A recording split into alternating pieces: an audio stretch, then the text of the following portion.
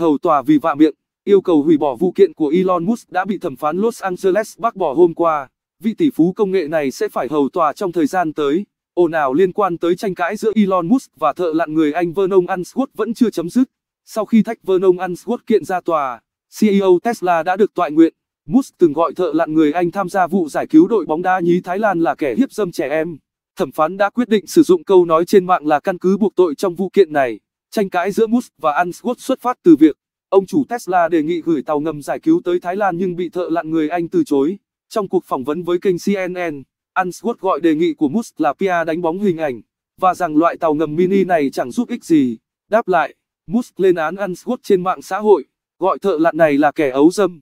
Sau đó, Musk lên tiếng xin lỗi. Một tháng sau, Musk gọi Unsworth là kẻ hiếp dâm trẻ em trong email gửi tới báo chí. Có tin Musk đã thuê thám tử tư điều tra đời tư của Unsworth. Sở dĩ Musk gọi thợ lặn này là kẻ hiếp dâm trẻ em vì cho rằng ông đã cưới một bé gái 12 tuổi người Thái Lan. Về phần Unsworth, người này bác bỏ cáo buộc, nói rằng ông gặp vợ tại London khi bà này đã 32 tuổi.